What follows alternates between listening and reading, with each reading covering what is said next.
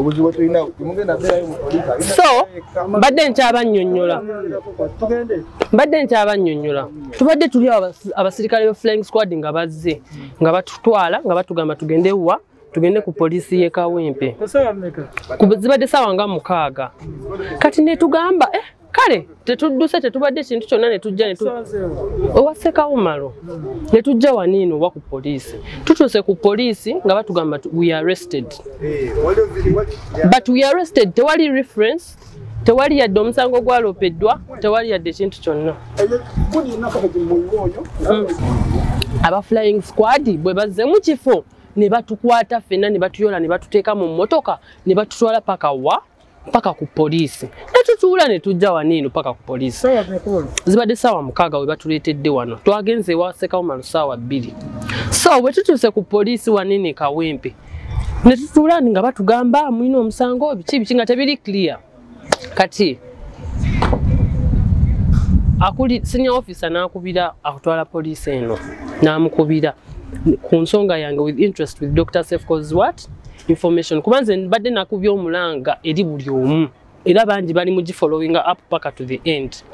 Kati we bakubye bagenza onoonyerezaako banoonyeza banoonyeza babuuza ani akutte omwana ono? Nga bagamba nti kopolo ako abadde wamu ne detective ne ba flying squad. Ne bababuuza baliwa nga ba- flying squad tebakola ki? Tebaliwo babuzeewo.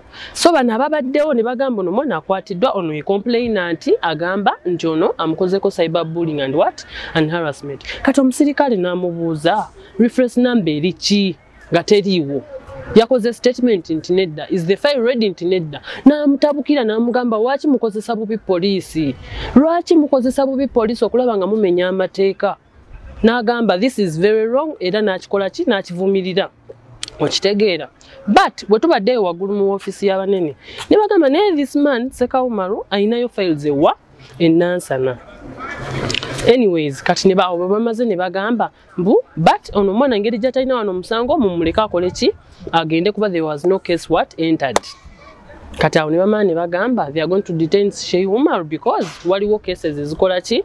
Files ne cases ezimugoberera kitegeeza tebamukute lwa musango gwo bamukute lwa fayiro ndala oba polisi nze ze simanyi naye neyange ninayo omusango polisi ogwa threatening violence already gyeguli enansana Eh, zonna bakebedde mu system nga gyeziri naye ne- ne nyongera nga ngamba abantu banaye tetukozesa bubi poliisi tukozese bulungi amateeka. Abantu beebuuza Mm. ejjo engeri gyewadde ogeza okwetonda Mm, ate nogenda ne poliisi mm. kigendera ki ekyabadde mu kyo? Anti nga womanyi nti nabadde neeraliikiridde era leero ngenza okwetonda sigenze na poliisi mulabye ekikoze eki ekituuse okitegeeza nabadde neerabika nti waliwo obumenyi bw'amateeka obuyinza okukozesebwa okuntusaako ki? Obulabe. Nga nze omuntu kwakola nagenze ne poliisi nebitakola ki? Nebitagenda nga obadde bisuubiddwa. So leero nebaza katonda nti ensonga zikoze eki? Zikwatiddwako n'amaanyi era tusaba katonda atuwa obwenkanya. Nze ng'omuntu kyensaba kubanga mbadde ntambulira mu kutya nakati ntambulira mu kutwa kati katugende tujja kuba tubawo bibiri ki? Ebisingako awo.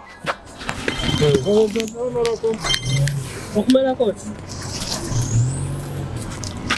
emotoka kyetiri